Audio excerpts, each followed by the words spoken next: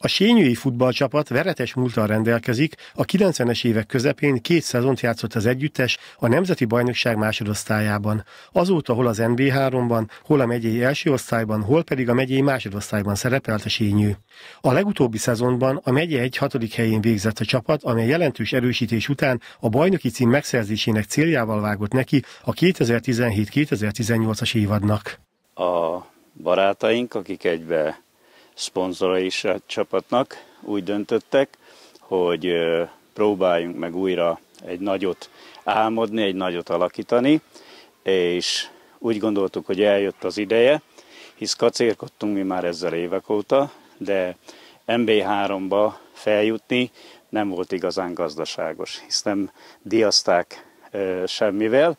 A mostani információnk alapján viszont komoly költségvetési vagy MLS támogatást kapunk, ezért osztottunk, szoroztunk, és akkor úgy döntöttünk, hogy belevágunk.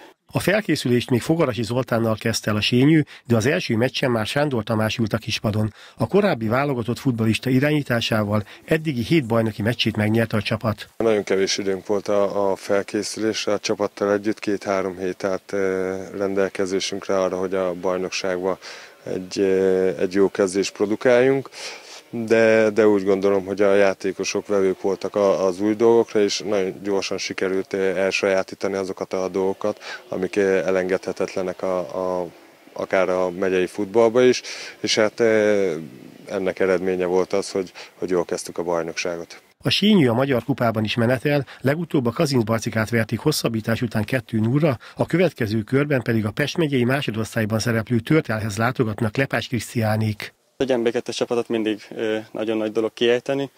Nekünk is az volt, nagyon örültünk neki, kicsit meg is lepődtünk, hát kicsit nagyobb játékerőt vártunk a Kazincbarcikától, de nagyon örültünk neki. A bajnokságban vasárnap Rakamazon lép pályára sényű.